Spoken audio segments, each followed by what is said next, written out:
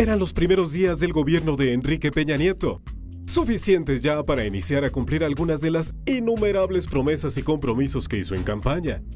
Uno de estos, entre los más importantes tal vez, pues con él iba a demostrar que con el PRI el cambio sí era una realidad, tenía que ver con la transparencia. Como candidato aseguró que haría una pública presentación del listado de todos sus bienes.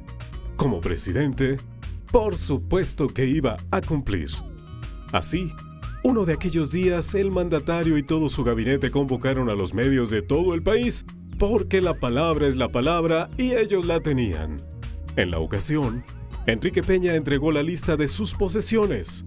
Algunas casas, terrenos, joyas, autos para el uso de la familia. Pero, ¿y los montos? ¿Las dimensiones de los terrenos? ¿Sus valores catastrales, es decir, cuánto valen? ¿Dónde se ubican?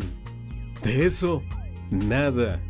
Y para no contrariar al jefe, los miembros de su grupo más cercano hicieron exactamente lo mismo. Un listado de buenas intenciones. Jesús Murillo Caram, el procurador general, dijo que, de plano, él no daría a conocer nada por cuestiones de seguridad. Vaya circo. Sin embargo, hoy la opacidad y la nula rendición de cuentas sobre lo que tiene el funcionario cuando llega y lo que tiene cuando se va están permitidas por la ley. Ocho de los once ministros que integran la Suprema Corte determinaron improcedente el amparo en contra del artículo 40 de la Ley Federal de Responsabilidades Administrativas de los Servidores Públicos. ¿Y qué dice el artículo 40 de la citada ley?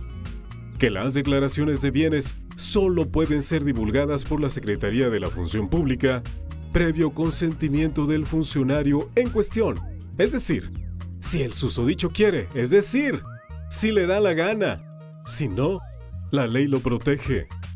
De haberse aprobado el proyecto del ministro José Ramón Cosío, entonces todos los funcionarios de todos los niveles de los poderes ejecutivo, legislativo y judicial, además de los llamados órganos autónomos, los propios ministros de la Corte, los jueces, los diputados y senadores, y directores y similares, incluido el presidente de la República, todos hubieran quedado sujetos a la obligación de hacer transparente su patrimonio cuando llegan y cuando se van.